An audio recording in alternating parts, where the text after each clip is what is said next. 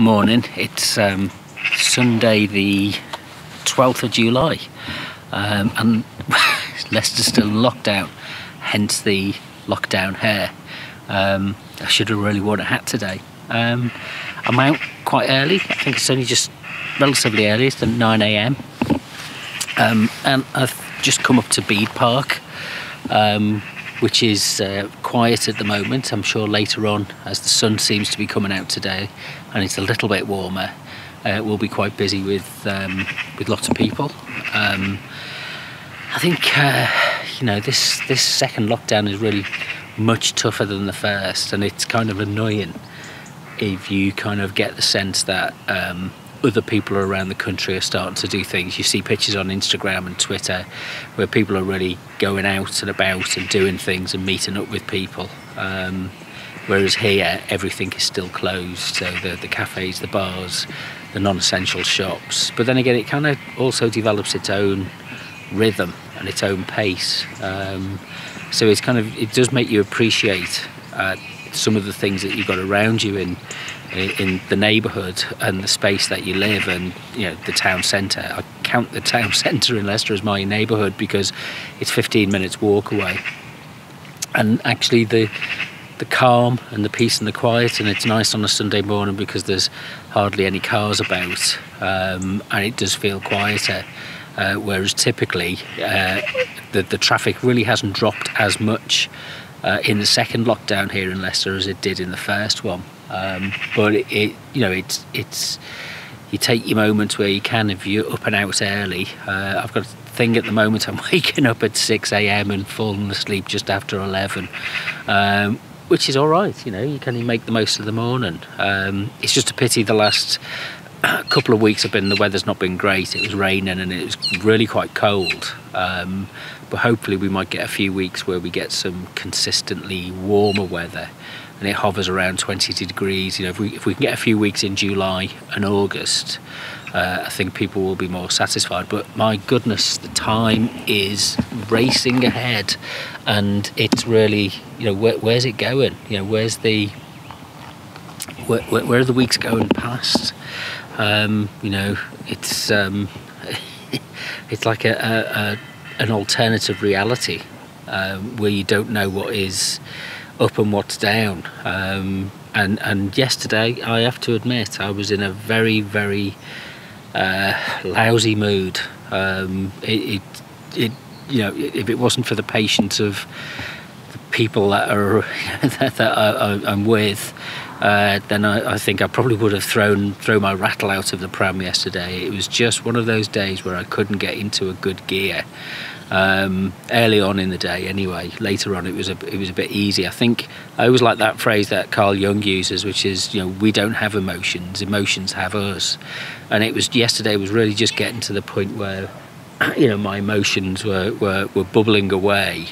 And sometimes you've just got to ride that out. You can't do anything about it. You're going to feel frustrated or um, you know kind of um, you know the fear is that you you you're left out you know that you're you're abandoned. Um, and there is a bit of a feeling you know here in Leicester at the moment that we're being abandoned uh, and used as a, a, kind of test case. But there's no you know even even from kind of the mayor and the councillors there's no they, you know they're feeling the same way. They they feel as if they've been abandoned. And you know the the government is not providing proper information uh, it's not relating to people and talking to people in a way that makes sense and is meaningful uh, to them. It's very, you know, basic information, and we're expected somehow to get these um, magical messages that you know you, you, see the nasty side of it. You know that you know people aren't washing their hands. Uh, and people aren't uh, following the social distancing rules. Well, you know, my experience is generally people are, and they're doing it as well as people might be expected to do elsewhere. But what the government's not done is given people the practical support to, to, to face the challenge. So one of the challenges, one of the big issues in Leicester is, yeah, there's a high level of people who are migrants, and they have on there if they've got a, a you know um, if they got an immigration card, a residency card, a temporary one, then it says no public funds. So you can't apply for any kind of um, money from the government to see you through to. You've got to work, otherwise you don't eat. Otherwise you don't. Um, you know, you don't um, have a roof over your head. So that's one of the reasons why people have been carrying on working in factories and warehouses and working in conditions that really aren't uh, uh, suitable. Uh, but then to blame people for that, and there is a sense that you know, kind of people are being blamed for it rather than people being given the practical help and support. And those decisions that the government's made to ignore, and you know, it was one of the things that was really, you know, remarkable when Boris Johnson was at the um, the liaison committee with all of the chairs of the, the different parliamentary committees. When he when he wasn't, he said he wasn't aware that you know people who are on visas don't get any recourse to public funds. Well, as, from a public health issue, it's cheaper just to pay people the money, give give people a universal basic income, um, and then say, you know, for three months, four months, take it, you know, take it each day at a time, each week at a time, and pay people so that they don't have to go and work in unsafe conditions, uh, and that you can get the the virus under control. But I've I've no faith that that's what this government's capable of. And I think a lot of people feel the same um, because, you know, the, the, numbers really don't seem to be coming down. Where, where, you know, every day, you know, 120 people. It drops sometimes to maybe 20 or something like that, but then it goes back up to 120, um, and which is more than the, you know, the, the, the, the excess deaths to use that terrible phrase, is more than the, the, the whole of Europe combined 700 million people versus 70 million people. Um, and, and we've got a, a, shockingly bad record, and the incompetence from the government is just, you know, we, we, you know, it beggars belief. And I'm, I'm, I'm why do British people accept, you know, accept it so meekly? So it's, you know, it's, it's, it's not an easy thing to live through. You kind of feel a bit isolated. I chatted with some and, and, and seen some uh, uh, local businesses online who are really worried uh, about how they'll survive and what this involves and what they'll be able to do uh, in the future um, because it's on a knife edge and the platitudes and the dismissiveness and the kind of oh it's over you know we, we, we've done that now we've moved on to something else Brexit which which is another you know disaster in the making uh, is is just going to really um, push people over the edge. I think, um, and we've got to be really careful that we don't. We offer people a sense of hope and a sense that you know, the, the, this is part of the problem about the communications. It's been very instructional. It's like command, command and control. It's like a head teacher in an old-fashioned school, which which probably fits in with the government's model since they went down the, you know, the the, the ridiculous academy approach, and that where you know you you just follow the rules and you're told what to do. But there's no sense of belonging, there's no sense of participation, there's no sense of engagement, there's no sense of civic empowerment in, in any of this. Um, and, and that's an alternative way that this could be managed and dealt with. Whereas at the moment, I think this government is very um, one dimensional, cloth eared, and really rather, um, you know, uh, in, incompetent.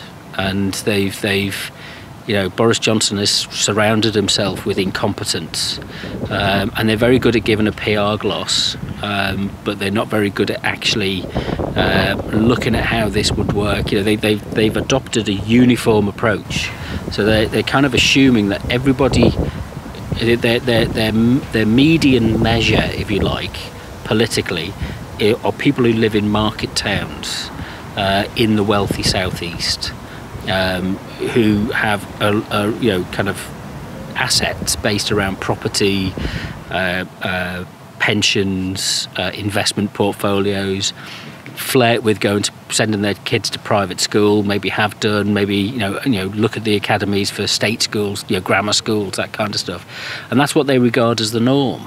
Uh, and everybody else who doesn't fit within that, you know, kind of narrow band of normality, um, can can can sod off. And I think the other thing that this exposes is, the, the, the, the just the high levels of centralisation in the UK.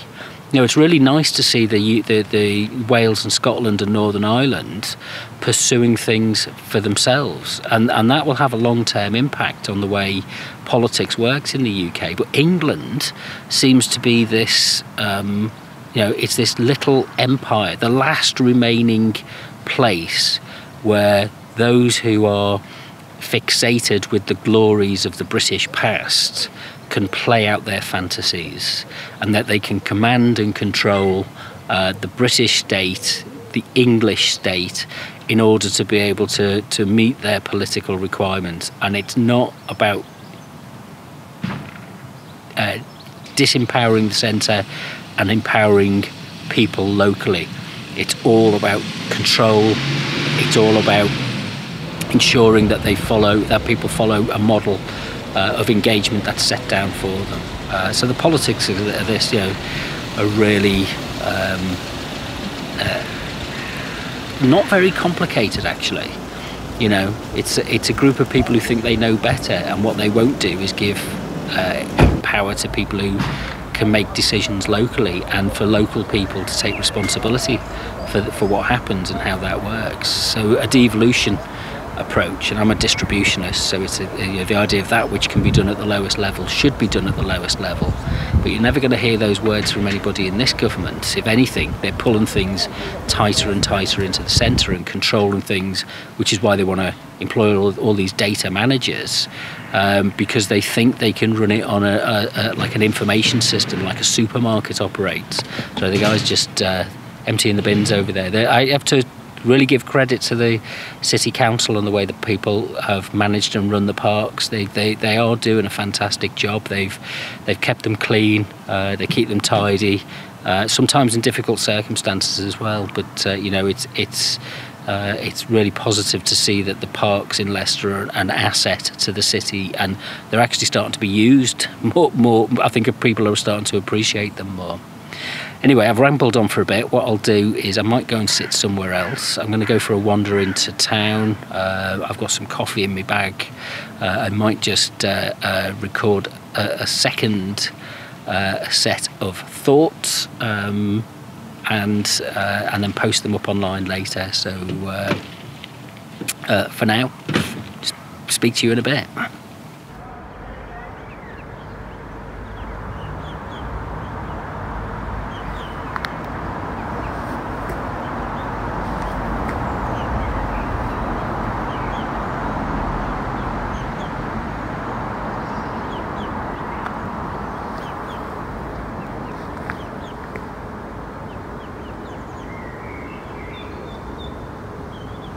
Hello again. Um, I've been having a wander around Leicester uh, this morning, just chatting uh, to people on the phone. Met up with my friend Damien, had a coffee, um, and now I'm going to head back. Um, it's interesting. The um, park here is called Castle Park, and during the lockdown throughout the summer, there's it's like a couple of tables there, benches where uh, people have been gathering to drink, middle-aged men uh, bald heads and beer bellies have been gathering to have a, a, a can of Carling together. Uh, but it, interestingly, the police were out today and they kind of moved people on. Uh, so I'm, I'm, sure that they would be. I mean, it's a good question, really. Will they be going back into the pubs when they when they reopen, or are they going to uh, enjoy, uh, keep enjoying the weather? Um, and, and, the, and the outside experience, um, who knows? Um, but it'd be nice to see them you know, do what you like in the privacy of your own home, but I think in parks and gardens around the city, uh, they're family spaces, and that gets you know people using the the, the bushes for uh, urinals. Um, shouldn't be shouldn't be encouraged or tolerated. Uh, so the area that I'm going to walk through now is uh, it's called Leicester Castle, and it's taken. It was kind of used, used by the university now for their business school, uh, and it's the site of the old Leicester Castle. Um, just here, so the building's not particularly old, but there are some old parts of it. There's the uh, uh, the kind of keep uh, here, and then the lane uh, uh, down the road, which I'll show you in a, in a minute, uh, is quite one of the kind of older areas. In the 1960s, a lot of the redevelopment that took place with bringing in the ring roads actually demolished a lot of the kind of more the older quarters in Leicester. Uh, so a lot of the heritage was lost. Um, but it's kind of nice to see some some um, nods towards it. Um, it. Leicester's not, you know, people have this picturesque image of Leicester. It's sold internationally as this, you know, it's the heart of England, and it's, um, you know, it's, it, it, it can trace its roots back to Roman times. Um, and there is still evidence of, you know, kind of Roman uh, ruins that have been uh, found. Uh, this is the Castle Motte, um, which is the kind of remains of part of the castle as well. Uh, this is the church here is St Mary de Castro. Uh, the spire on that uh, nearly collapsed a few years ago, so they had to take it down. And They're trying to raise funds to, to rebuild it. Uh, and then the area we're going to look at for a second, you can you can see De Montfort University in the background, but I think most of these buildings are now leased or owned by the university. It's a cobbled street uh, and they've opened a little bar here but it's a lot of use for offices and things like that. So it's it's kind of it's not like York or Whitby or you know some of the places that have got extended areas of historical interest. A lot of Leicester can be quite brutal. Um, in terms of its its you know the modern architecture like a lot of cities uh, Coventry uh, Birmingham uh, which we're now rolling back from and uh, re redeveloping and, and, reinventing as spaces that are, are more comfortable for people uh, to use. Uh, and yeah, it's, it's, it's pleasant enough. So this is what they call now the, the Castle Inn, which sells, I think, a couple of kegs of beer and it gets about half a dozen people sat in there. It's very small. Uh, uh, and then there's the keep, the old gate house to the keep, uh, which then brings you onto uh, the university campus. Uh, but yeah, so that's been my uh, Sunday morning in Leicester. It's been a bit like this kind of Groundhog Day, wandering about over the last few weeks. I need to have a shave tomorrow. Um, if you want to follow me on Twitter, I'm on Rob W Media and on Instagram on Rob W Media or visit robwatsonmedia.net uh, and I'm on YouTube as well. Uh, so uh, hopefully this is where you're seeing this video. Uh, but I'll try and get out again in the week and you know share some thoughts and offload some of my anxieties about what's going on with the second never-ending lockdown here in Leicester. Bye.